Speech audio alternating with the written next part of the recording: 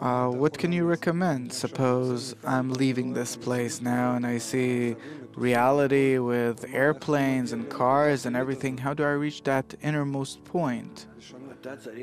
You have to behave according to there's nothing new under the sun, where a judge has nothing but what his eyes see. But if this judge changes, his eyes see differently. Thus, you do not have to relate to reality, but you have to relate to your desire that it has to change its intention, the intention over it my attitude towards the fellow man, the world, the creator, only the attitude. How should it be? Instead of receiving for myself and constantly instinctively thinking, how will I feel better?